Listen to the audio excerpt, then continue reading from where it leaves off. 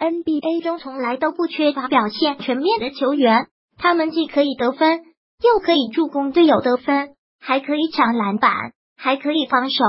而在 NBA 的历史得到一万五千加六千加八千，却不是一件容易的事。历史仅四人，现役仅一人。奥斯卡·罗伯特森两万六千七百一十分加七千八百零六篮板加九千八百八十七助攻。罗伯特森是历史首位场均得到三双的球员，他的全名也是毋庸置疑。罗伯特森职业生涯一共出场了一千零四十场比赛，得到了两万六千七百一十分、七千八百零六篮板、九千八百八十七助攻，并且获得了一百八十一次三双，排名历史三双榜第一。魔术师约翰逊一万七千七百零七分加六千五百五十九篮板加幺零幺四幺助攻。魔术师约翰逊的传球神出鬼没，经常送出漂亮的助攻，帮助队友得分。而魔术师也是一个十分全面的球员，不仅传球技术好，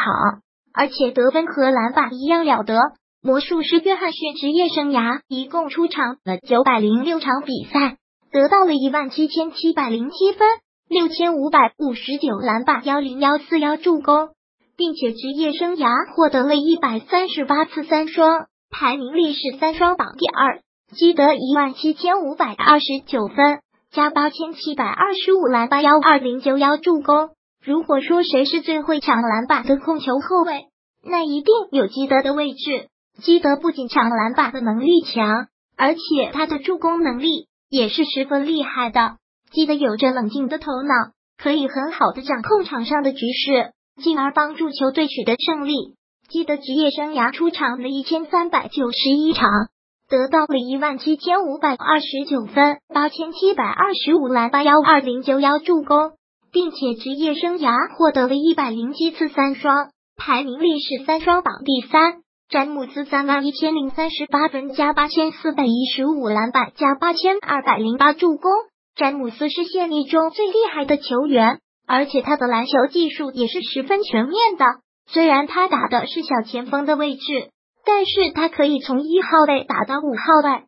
所以詹姆斯得分、篮板、助攻都十分了得。詹姆斯到目前为止一共出场了一千一百四十三场比赛，得到了三万一千零三十八分、八千四百一十五篮板、八千二百零八助攻。并且是历史唯一一位达到三万一千加八千加八千的球员，并且获得了七十一次三双，排名历史三双榜第六。不难发现，能够达到了一万五千加六千加八千的球员，他们都是非常全面的球员。罗宝特森三双排名第一，魔术师约翰逊三双排名第二，吉德三双排名第三，詹姆斯三双排名第四。而下一位能够成为一万五千加六千加八千的球员，相比一定是一位技术全面的球员。